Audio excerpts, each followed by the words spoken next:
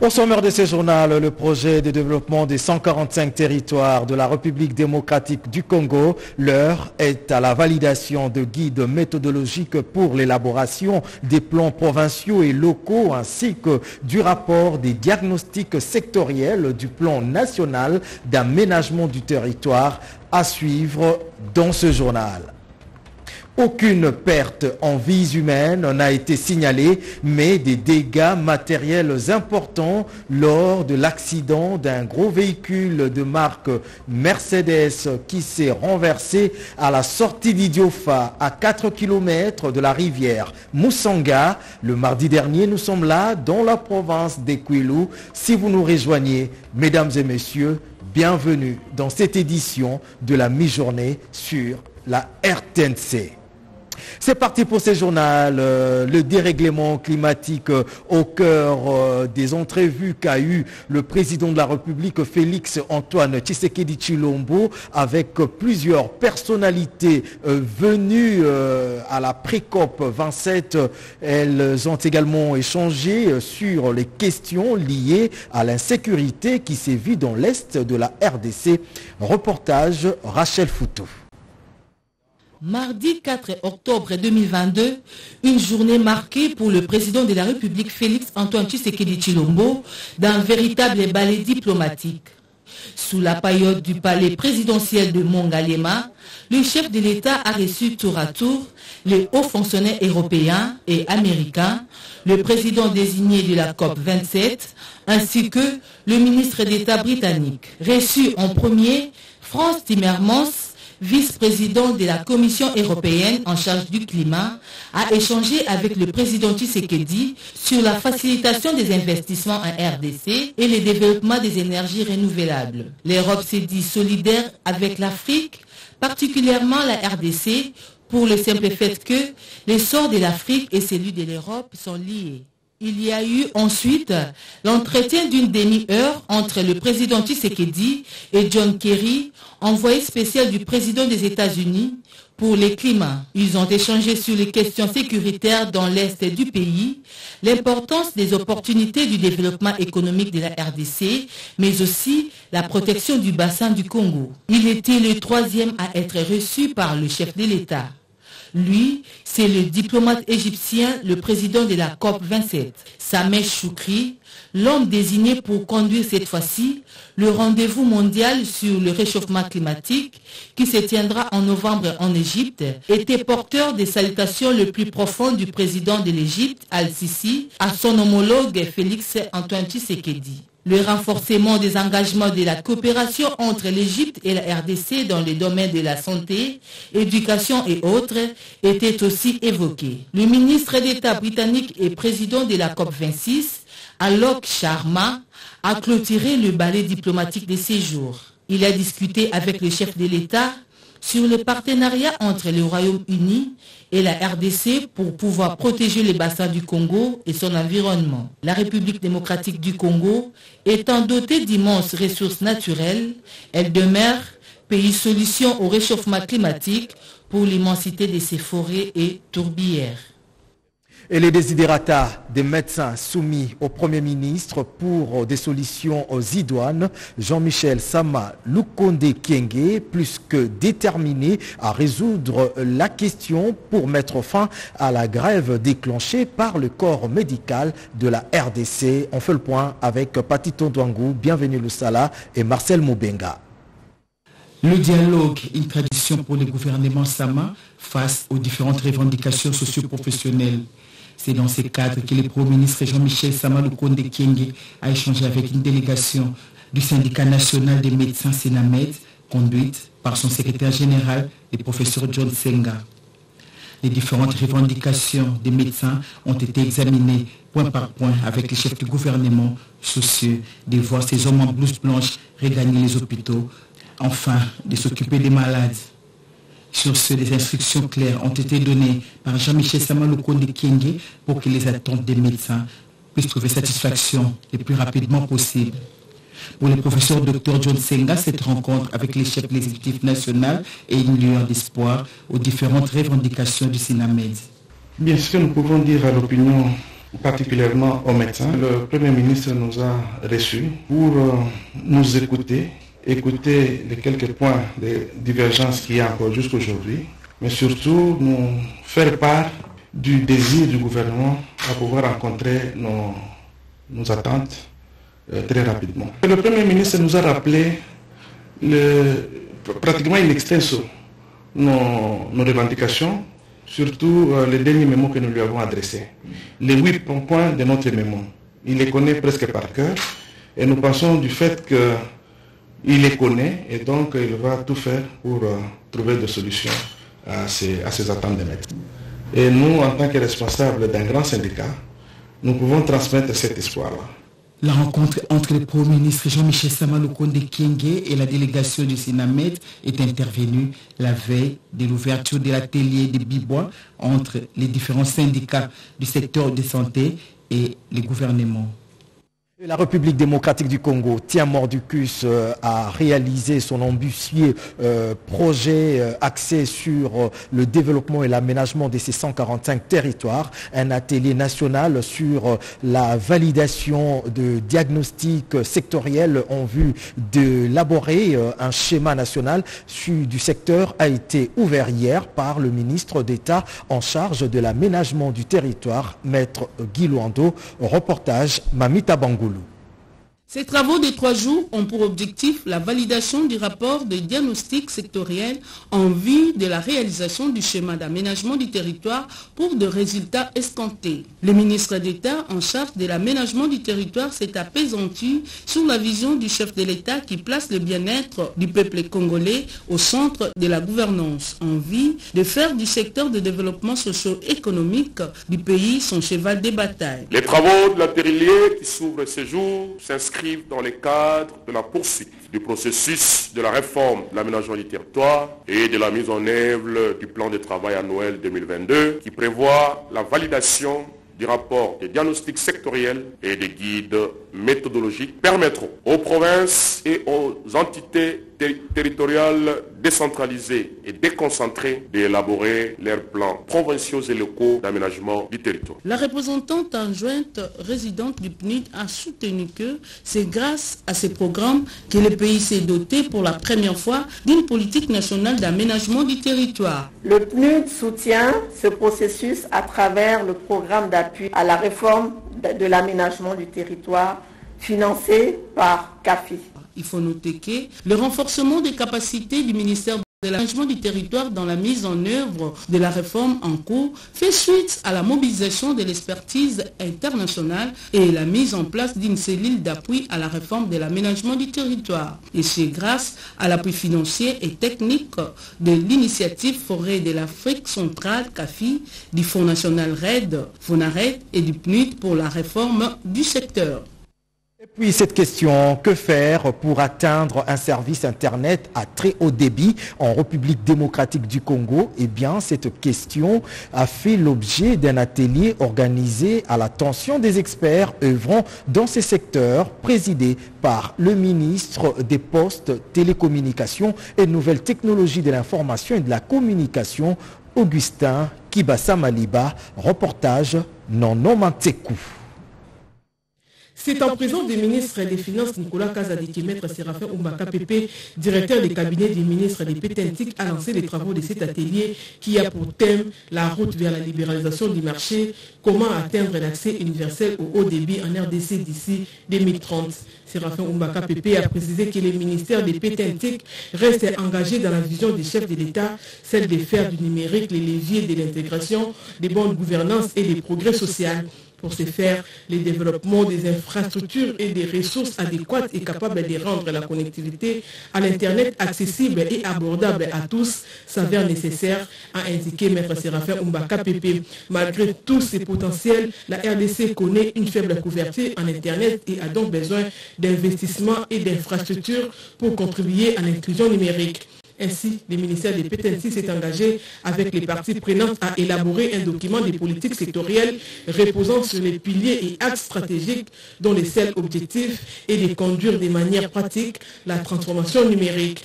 Plusieurs présentations ont captivé l'assistance, y compris celle de M. Marcel Perrault, conseiller du ministre des Pétentique en charge des développements des compétences, qui a parlé de la vision à long terme du ministre Augustin Kibasa-Maliba sur les secteurs en huit axes stratégiques pour améliorer les taux de couverture et de connectivité de la population congolaise de 40% à 75% d'ici 5 ans. Le ministre des Finances, qui a pris part active à ces assises, s'est dit engagé lui aussi à améliorer la situation avec les télécoms et a promis de travailler pour la simplification de la gestion des recettes fiscales et non fiscales. La journée s'est clôturée par des travaux en commission où les experts ont réfléchi sur les comment mettre en place un environnement attractif aux investissements du secteur privé dans les télécoms en déployant des infrastructures numériques conséquentes. Facilitation du trafic maritime international, c'est le séminaire euh, national organisé à l'attention des cadres de l'OGFREM et autres experts œuvrant dans ces secteurs euh, du transport, ouvert par le vice-ministre des Transports et Voies de Communication, reportage Tsuzingoy et Myriam Madika. Reconnecter le monde et promouvoir la lutte contre le changement climatique dans l'industrie aéronautique, c'est sur ces thèmes que s'est tenue la 41e assemblée de l'Organisation de l'aviation civile internationale à Montréal. 193 États membres de l'OACI sont invités à cette assemblée qui établit la politique mondiale de l'organisation pour les prochains triennales. La RDC, représentée à ces assises par le ministre des Transports, Voies des Communications et des Enclavements, a évoqué les efforts déployés par son pays pour respecter les engagements envers l'OACI. Cheriba Okendesenga a par l'occasion dénoncé l'agression de la RDC par le Rwanda, situation qui a un impact sur la sécurité aérienne. Je ne saurais terminer cette communication sans rappeler le fondement de la Convention de Chicago en ce qu'il est désirable d'éviter toutes mésententes entre les nations et le peuple. L'agression dont mon pays est victime de la part du Rwanda, qui est soutenu par certaines grandes puissances, membre du Conseil de l'OACI, est un abus flagrant qui constitue une menace inacceptable sur la stabilité de la sous-région et sur la sécurité aérienne. J'ai le regret de vous informer que suite à la gravité des violations récurrentes des principes d'amitié, de franche collaboration et de solidarité préconisés par l'OACI, la République démocratique du Congo a suspendu tous les accords aériens conclus. La RDC a apuré tous les arriérés de cotisation de 5 ans, ce qui lui a permis de recouvrer son droit de vote et sa prise de parole au sein de l'Organisation de l'aviation civile internationale. Euh, la délégation congolaise aux assemblées annuelles euh, du Fonds monétaire international et de la Banque mondiale a été outillée euh, sur les matières et des débats politiques monétaires, masse salariale, entre autres. C'était au cours de la réunion de la Troïka politique dirigée par le ministre des Finances Nicolas Kazadi, commentaire et Dichala en prélude des discussions aux assemblées annuelles du Fonds monétaire international et de la Banque mondiale, la Troïka politique s'est réunie sous la présidence du ministre des Finances Nicolas Kazadi. Le ministre d'État, ministre du Budget, Mebo Sangara, la gouverneure de la Banque centrale du Congo, Marie-France Malango Kabedi, étaient de la partie pour donner à la délégation congolaise des outils leur permettant une participation efficace à ces assemblées annuelles du groupe de la Banque mondiale et du Fonds monétaire international à Washington, D.C., le 10 octobre courant. Euh, et donc, il fallait construire, n'est-ce pas, sur la base des chiffres qui sont prévus tant dans le budget 2022 que dans le budget 2023, construire un argumentaire parce que euh, le gouvernement a l'obligation de faire face à ces revendications. Il y avait aussi la question de, de bouclage du programme de développement de 145 territoires pour regarder les différentes sources de financement. Comme vous savez, le gouvernement a utilisé, a consacré les DTS, les droits de spéciaux, les a consacrés totalement pour le financement du programme de développement de 135 territoires. Avec le Fonds monétaire international, les débats porteront sur la masse salariale dans une perspective de réponse imminente aux revendications des syndicats, les réformes de la fonction publique, les subventions pétrolières la politique monétaire et la quatrième revue sans être exhaustif. La Troïka politique a examiné les repères structurels et quantitatifs sur les repères du système de traçabilité des droits d'accise. Le gouvernement doit encore avoir un dialogue avec le Fonds monétaire international. Euh, mobilisation des recettes euh, dans la province de l'Itourie, on en parle dans ces journaux où les recettes sont passées de 4 à 9 milliards de francs le mois. Les autorités militaires et des régies financières sont déterminées à donner à l'État le moyen de sa politique. Reportage Junior Selemani et Oscar Balkaïch. Accroissement des recettes à la sous-direction des douanes et axes de l'Itourie qui sont passés de 4 à 9 milliards de francs congolais le mois. Une performance réalisée grâce à l'encadrement et à la politique managériale de l'administration militaire que dirigent les gouverneurs, le lieutenant général Johnny Luboyan Kachaba. Satisfaction morale du numéro 1 de la DGDA en Ituri. Encourager cet état de siège-là parce que euh, pour nous, en ce qui nous concerne, euh, ça nous est d'un grand appui. Avant l'état de siège, euh, on n'avait pas le niveau de recettes que nous avons actuellement. La fraude s'est installée comme euh, une règle et le paiement des droits devient une exception. Donc euh, nous vivons dans une circonstance où la culture fiscale est la plus moindre possible et que nous nous battons pour que nous puissions relever le niveau de cette culture-là. L'Itourie figure parmi les provinces où la fraude douanière bat son plein.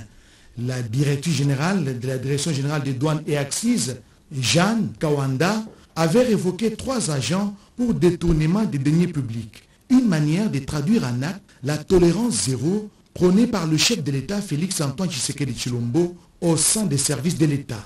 Et l'amélioration des conditions de travail des agents et cadres de la douane reste son cheval de bataille.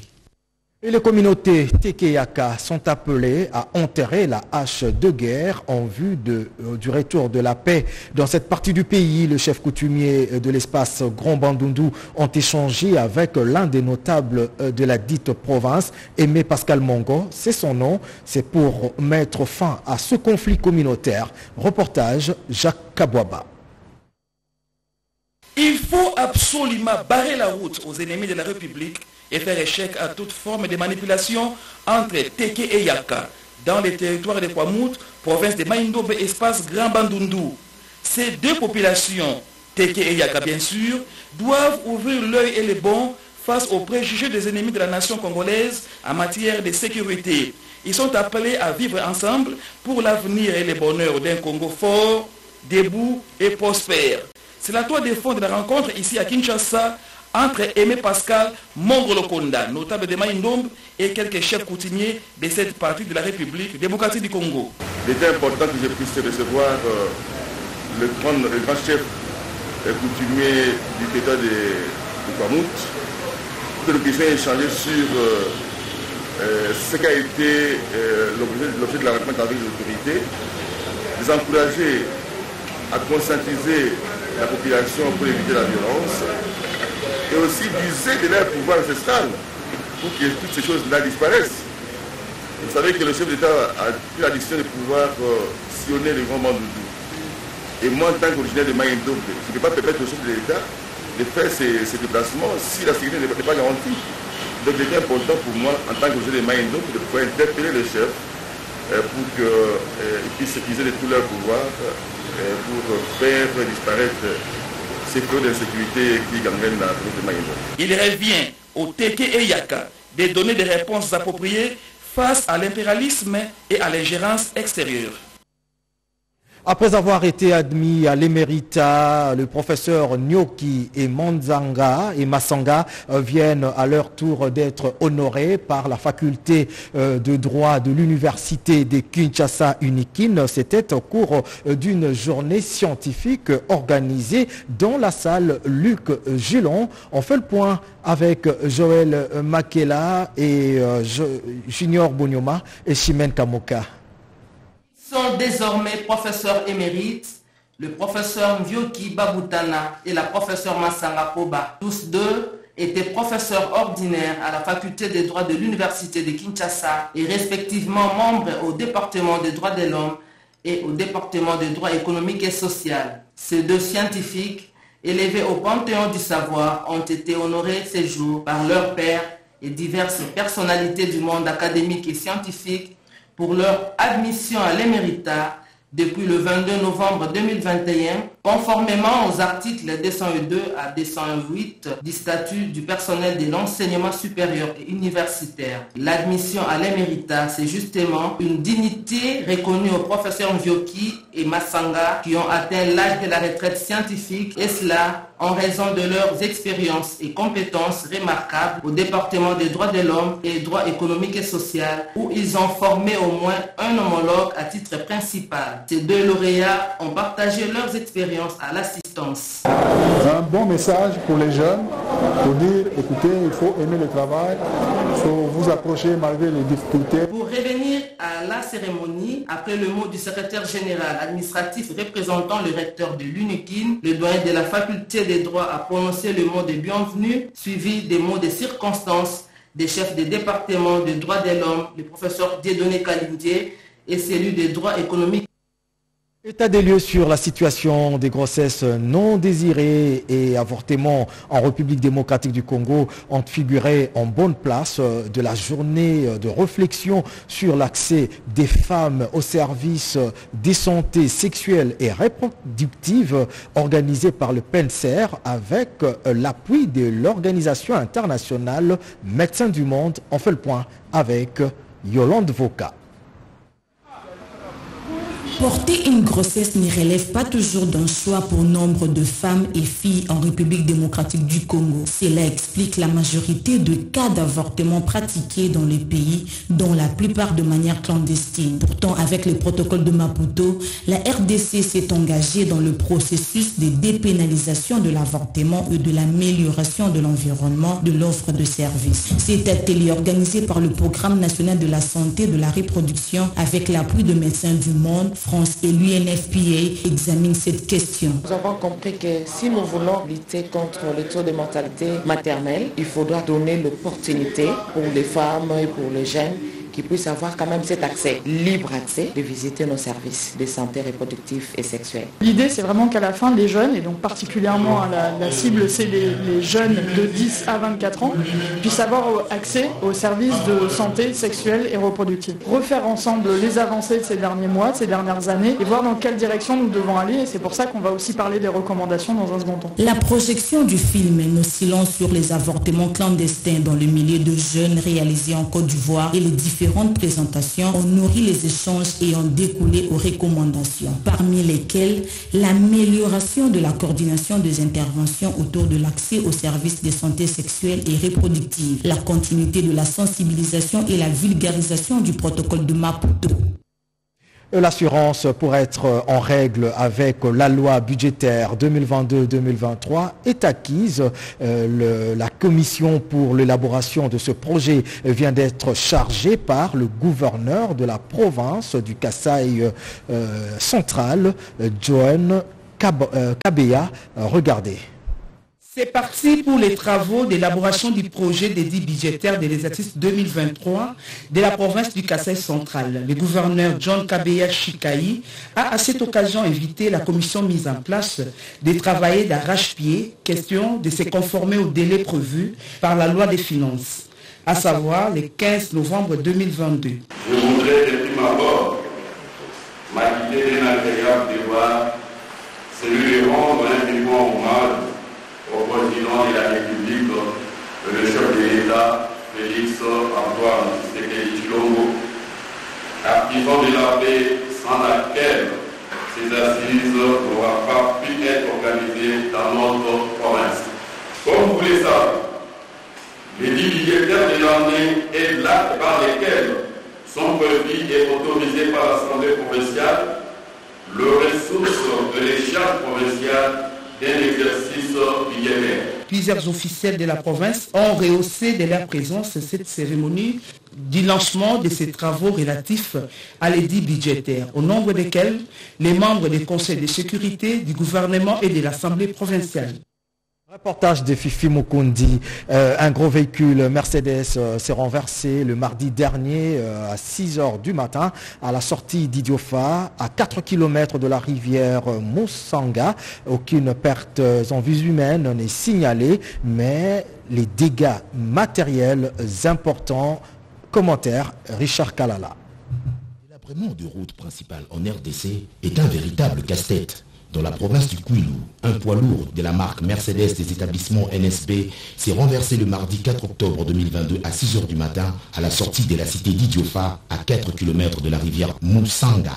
Aucune perte en vie humaine n'a été signalée, mais les dégâts matériels, eux, sont importants d'après les dires du conducteur. Ces véhicules de matricule 8639A01 revenaient des Dibaï à Louboué, où il effectuait une double opération déchargement et chargement de produits agricoles, notamment les maniocs et le maïs. Les travaux de réhabilitation de ces tronçons étaient confiés à l'office de route. Mais triste est de constater que ceux-ci n'auront connu jusqu'alors que quelques mètres d'infrastructures d'assainissement comme rénovation. Selon le chauffeur, la mauvais état des routes serait à la base de l'accident car le ravin ronge les lignes de la route par recul de tête. La population lance un cri d'alarme au chef de l'État pour sauver ces tronçons qui est une voie principale pour l'évacuation de sa marchandise mais aussi le seul passage pour accéder à ce territoire. À l'heure actuelle, le trajet est coupé et la circulation devient compliquée. La crainte de voir cette route devenir un repère des agresseurs traverse déjà les esprits de cette population.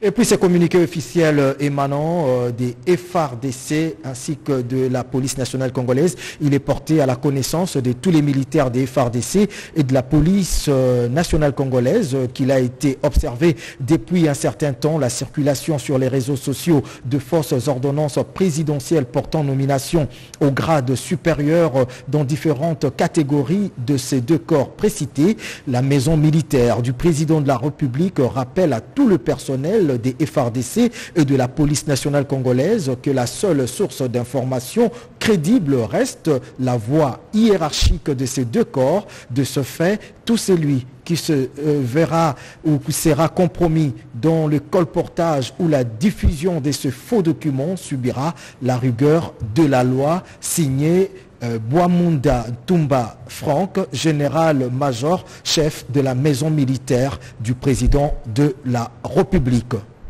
L'importance du projet de développement de 145 territoires a été expliquée à la population de la Mongala par euh, le vice-ministre du budget. Sur place, il a également visité la prison d'Angenga et le territoire de Bumba. Reportage Rodépanda officielle dans la province de la Mongala où il est arrivé depuis le samedi 1er octobre dernier à partir de la ville de l'Issalam, le vice-ministre du budget Élisée Bokoumwana Maposom s'est livré à la campagne de sensibilisation de la population sur l'importance du vaste programme de développement local de 145 territoires initié par le chef de l'État, Félix Antoine Tshisekedi Chilombo.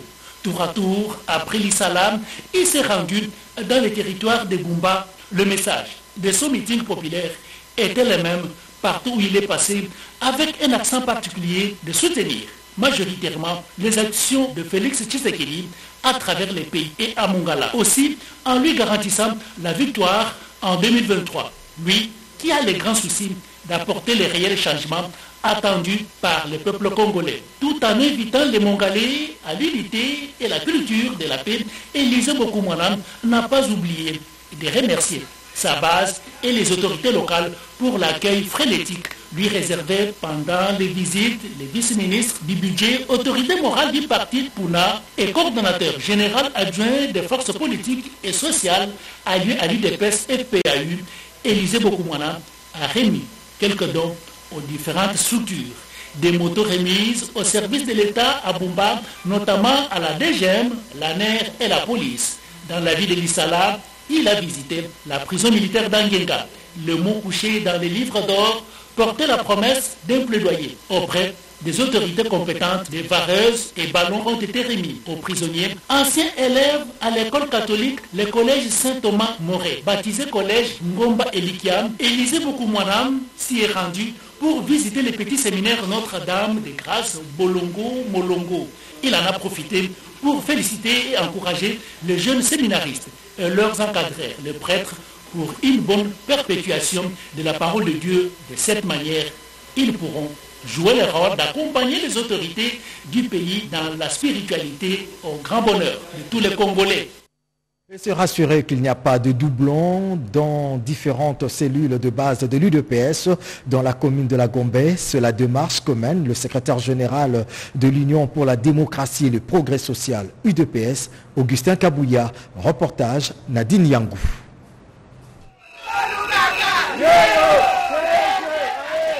L'objectif de cette descente du secrétaire général était principalement de démontrer qu'il n'existe pas de doublons des cellules de l'Union pour la démocratie et le progrès social à la section de la Gombe.